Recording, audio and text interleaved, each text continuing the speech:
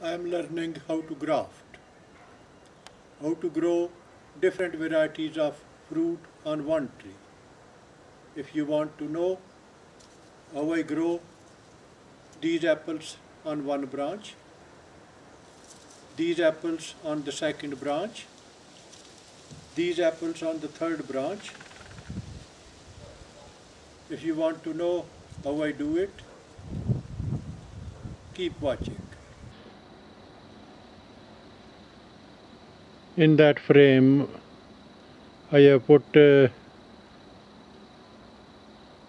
some apple trees in the pots and I have uh, put the pots into the ground and uh, put some leaves around to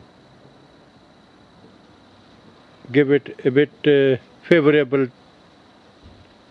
temperature bit of insulation and uh, a bit of helping hand in the gr- growth of the newly grafted apple trees.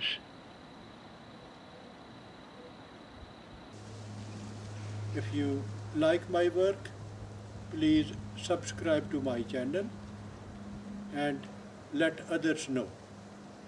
If you don't like it, please let me know. Thank you.